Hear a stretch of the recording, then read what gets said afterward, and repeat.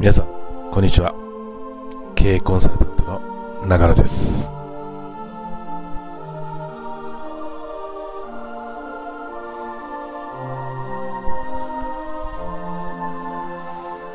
今日もね、YouTube 動画をやっていきたいと思います。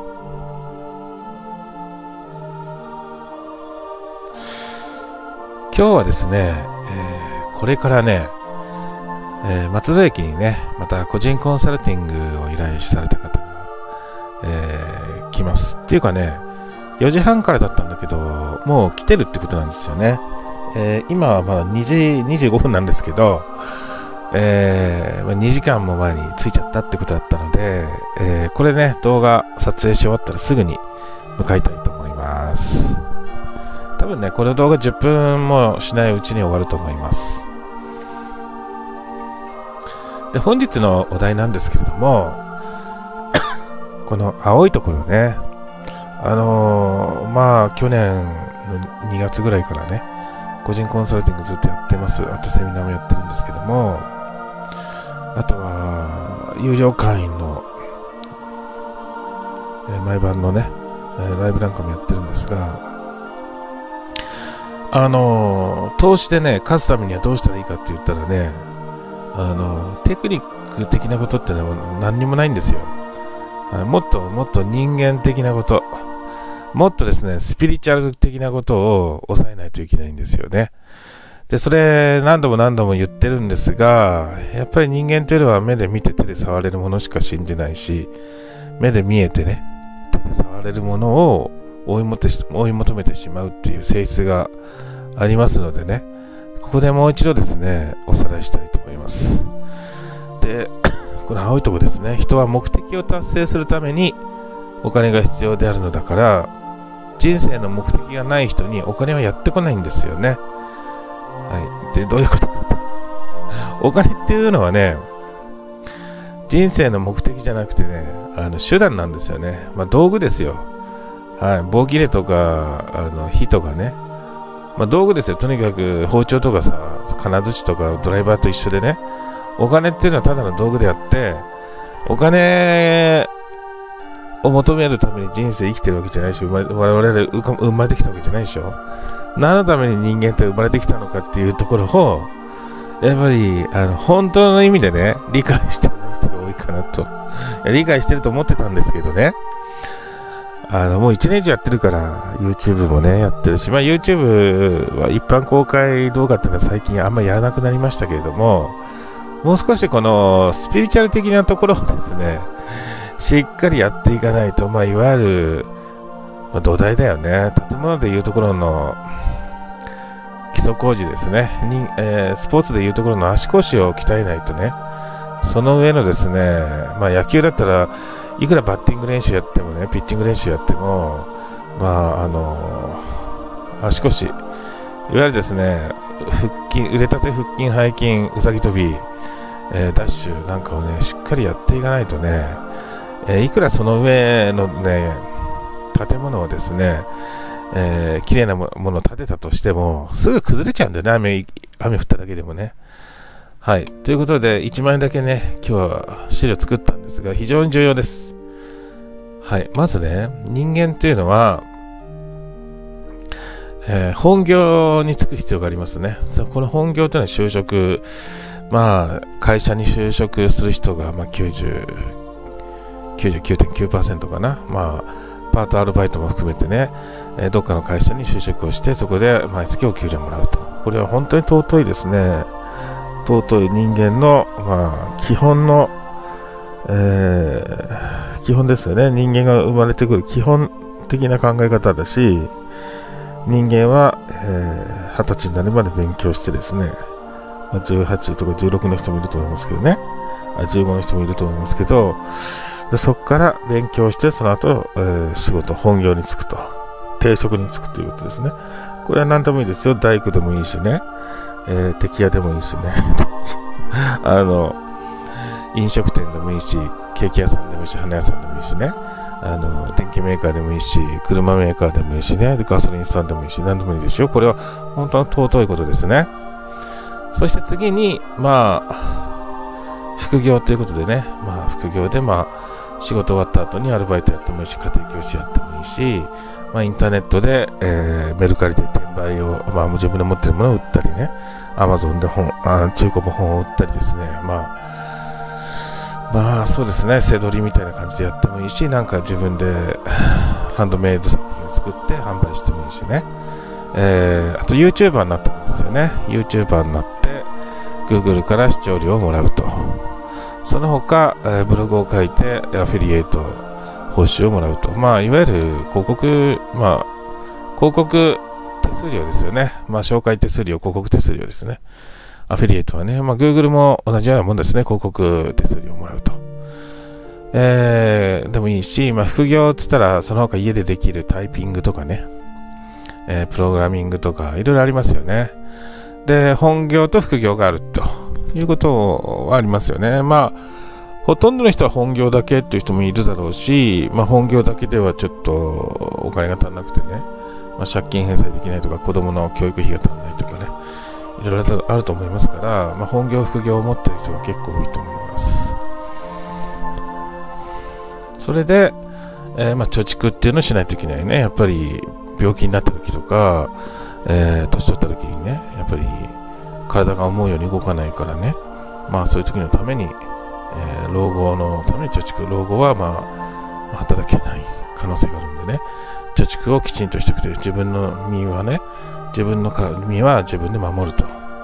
いう、えー、貯蓄をしておくのっていうのは大切ですよね。1、2、3は大切。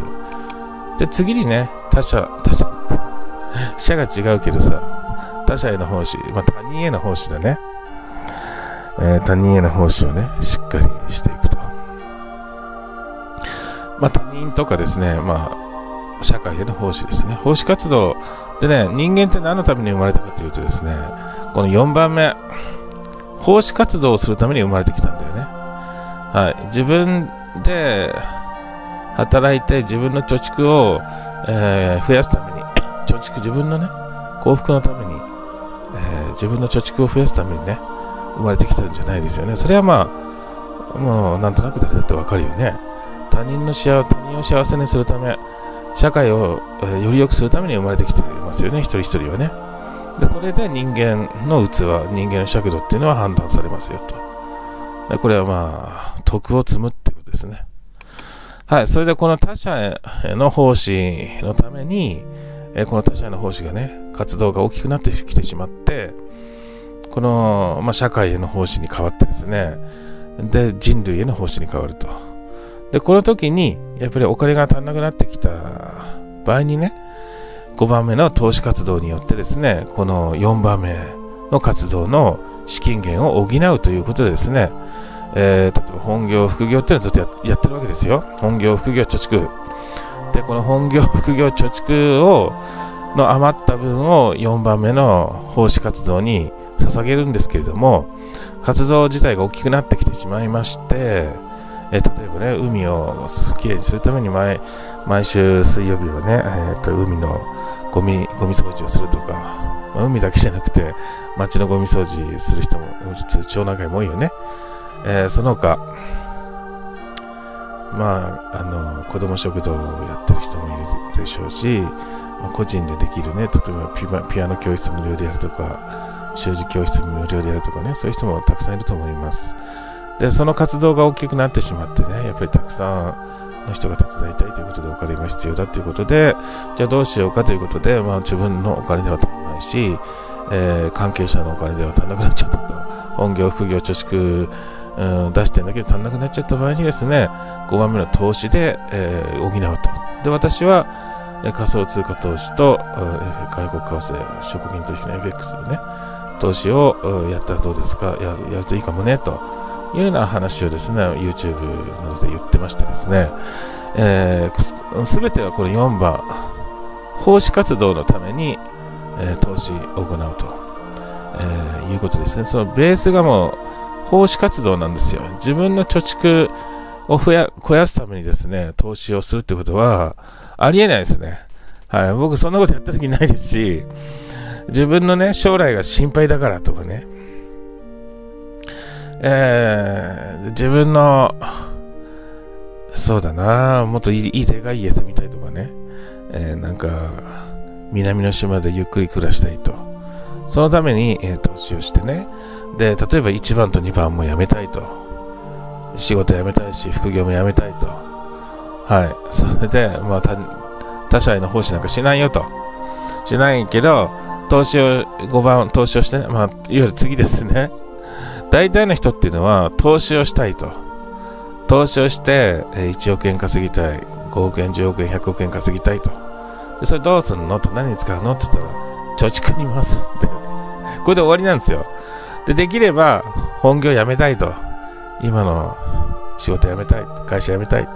副業もやってないからやりたくないと。ね副業まあブログ書いてたって全然お金にならないしね、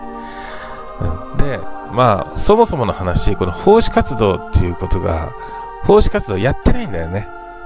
やってる人いないから。まあ、宗教団体に入って、宗教に入っててね、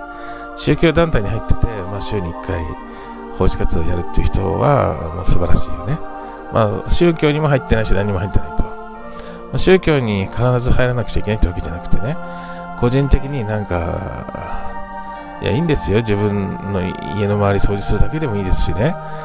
え何でもいいんですよ。これはインターネット上でね。えー、ブログを無料で書くと、これも奉仕ですって見てるかもしれないからね、動画とかね。何でもいいんですけども、えー、何もやらないと。で、いや、他人に施すってことは全く考えた時ないし、え、自分の、え貯蓄を増やすために投資ってやるんじゃないのというのが、いう人が多いんだよね。で、だからここでですね、僕の考え方といつも合わないわけで、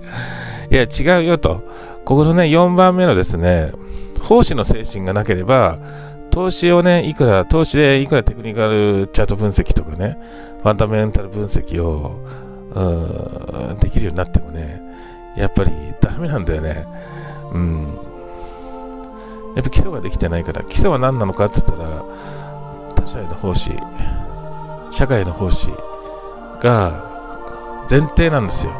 だからこそお金がえー、流れ、必要な金額だけ流れ込むようになるわけですね。はい。で、自分、この3番目の貯蓄の方にですね、この5番目の投資で、えー、得たお金がこれ流れ込むかって言ったら全く流れ込まないし、これを、このね、5番、5番から3番をややった暁にはね、その瞬間からあなたは悪魔に魂を売ったんだね。うん、悪魔に魂を売りました。なので、もう二度と投資でね、あの、お金を稼ぐことはできないですね。4番目の、えー、他者への奉仕、世間への奉仕世間への奉仕、人類への奉仕という目的が、目的ね、これ4番目目的、我々人類が、人間がなんでこの世に生まれてきたのか、その目的はこれ4番にあるわけですよね。4番がないのに5番はありえないから。で5番を1番にして、投資で、得たお金を貯蓄に回すということはありえない。だから、ほとんど99.999%の人は投資で失敗します。なぜかというと4番がないから。4番があれば、えー、5番があるってことだね。だから1番があって2番があるってことはありえないですから。それで本業と副業は、あの、本業副業貯蓄っていうのは、これ三位一体ですからね。人間の三位一体なので、これはね、投資でね、100億、1000億儲かったとしても、1、2、3っていうのはね、うん、消えることはありえない。だって世界の投資家、えー、もうそうでしょう、まあ、会社の社長やってるでしょ、投資家、投資会社の社長もやってるし、でなぜね、投資でものすごい儲かってるのに、南の島行って、もうあの老後生活しないかっていうと、1、2、3があって初めて4ができて5があるわけですよ。1、2、3、本業、副業、貯蓄、自分の始末は自分でつけないといけないよね。123、12が3のためにあるわけ。で、3は4のためにあって、5は4のためにあるわけですよ。だから全ては4のためにあるわけ。人類のために私は自分は何ができるのか。全人類っていうと、まあすごく大きな話になっちゃうから、半径50センチのね、えー、例えば自分の住むね、町の子供たちに対して自分はどういう奉仕ができるのか。えー、お年寄りのたちのためにね、どういう、え、声かけ運動ができるのか、まあ、見守り運動っていうか、えー、何ができるのかね、まあ、お弁当を配達するとか、ご飯作ってあげるとかね、お掃除してあげるとか、何でもありますよね。あと、なんか寂しいから相談事乗ってあげるとかね、世間話に乗ってあげるとかも、それだけでも本当に尊い仕事ですし、えー、できれば、もっとなんかいろんなことがね、えー、子供たちのために、街の人、えー、お金がない人のために、え、何かできることがあるかもしれないよね。だから、え、私たちは本業と副業してお金を貯めて貯蓄して、自分だけじゃなくて他人への奉仕のためにその貯蓄を取り崩すと。まあ、それは非常に尊いですよね。それで、そのこの奉仕活動が大きくなってしまって、えー、資金が足りなくなった場合に5番目の投資をすると。投資をして、えー、神のご加護を得てですね、その投資が成功して4番に全部、えー、奉納するっていうかね。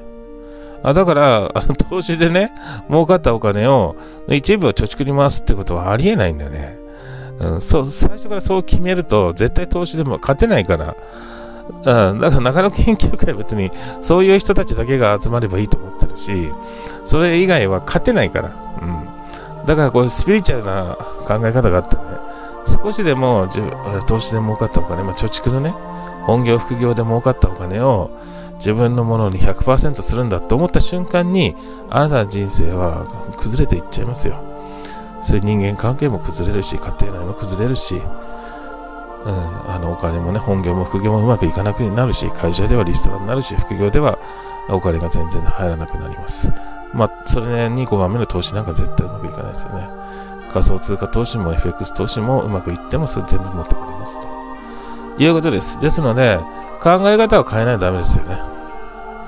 はい。FX でどうやって勝つの？仮想通貨でどうやって勝てばいいの？っつってね。えー、情報収集する人、テクニカルチャート分析を勉強する人、ファンダメンタル分析を一生懸命やる人いっぱいいますけれども、あとは、